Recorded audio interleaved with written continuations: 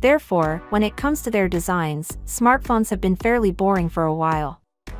Simply said, it seems like we haven't seen any really avant-garde phone designs in a very long time.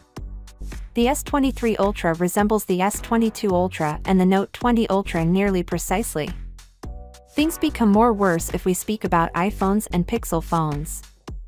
The Z Fold 5 will resemble the Z Fold 4, which appeared similar to the Z Fold 3, in the same way as foldables do.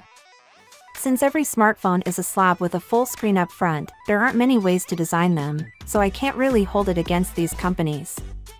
Therefore, the only modification they could make was to redesign the camera module.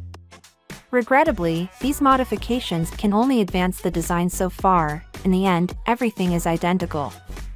I'm trying to argue that the design of smartphones has reached a plateau, and the Galaxy S24 family may be no exception.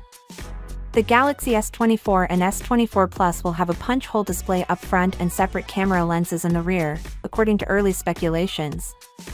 Since Samsung has been using the same design for its flagship smartphones for at least two years, I can't say that I'm really surprised.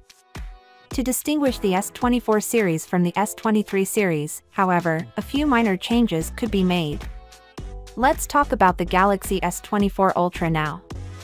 The design of the S24 Ultra could resemble this since it will have one less camera because they are employing a continuous zoom camera, which eliminates the requirement for an additional 3x telephoto sensor.